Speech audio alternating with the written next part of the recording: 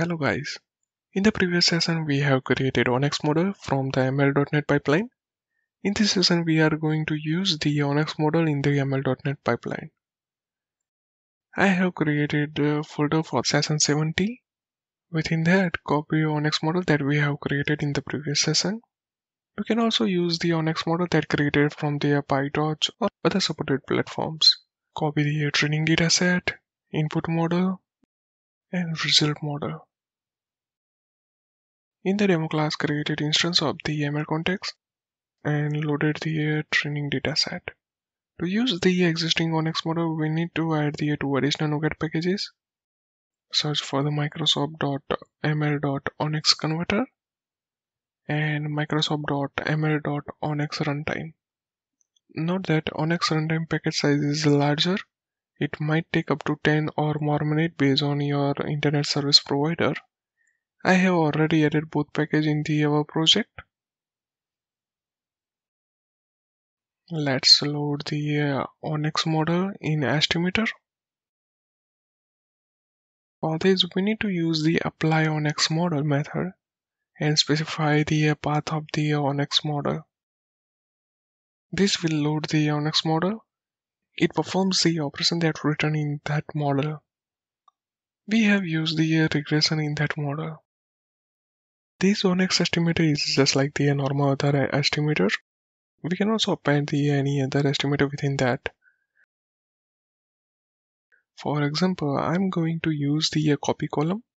You can use uh, any other operation too. Output column name will be salary copy and input column name will be salary.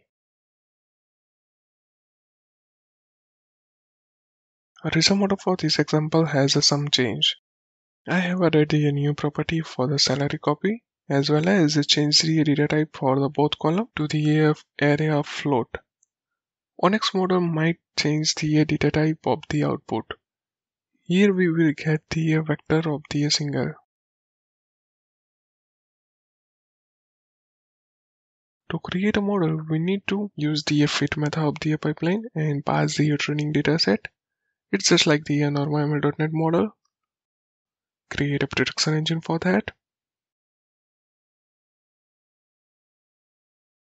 And create an instance of the input model on which we want to perform the prediction. Use the predict method and print the SLT for the result.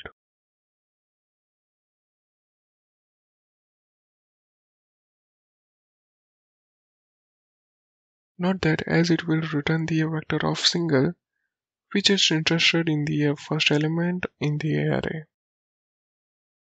Update the program.cs file.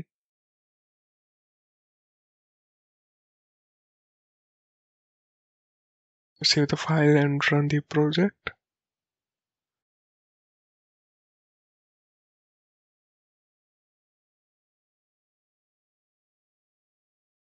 Here you can see that we got the uh, proper production for that. Let's see what we have learned in this session. To use the ONNX model in ML.NET, we need to add the uh, two additional NuGet packages that is ONNX Converter and ONNX Runtime. Use the apply ONNX model method to load the ONNX model in the pipeline. We can also add the additional estimator within that. And rest of things are same as the normal ML.NET model. Goodbye